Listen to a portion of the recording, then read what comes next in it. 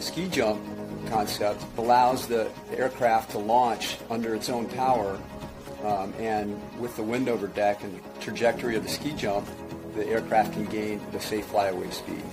So we leave the ski jump at probably 30 to 45 knots below our normal takeoff speed, but the additional airspeed is gained once the aircraft's airborne and it's accelerating to that minimum rated descent point.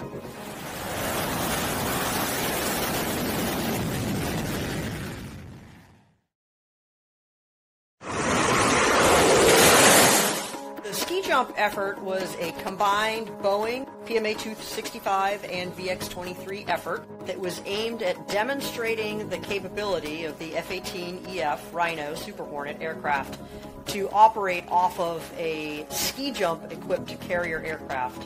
Um, that is the aircraft carrier that, among other countries, the Indian Navy uses.